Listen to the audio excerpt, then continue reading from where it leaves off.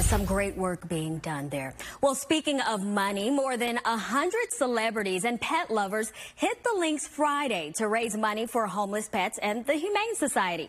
Well, there were sports guys like Arizona Cardinal Patrick Peterson, Kyle Fuller from the Denver Broncos, and our very own Scott Pasmore was on the course, of course. it was the first ever home in one tournament at the Arizona Biltmore. Uh, the money raised helps take care of some of the 15,000 sick, hurt, and abused homeless pets that the Humane Society takes care every year.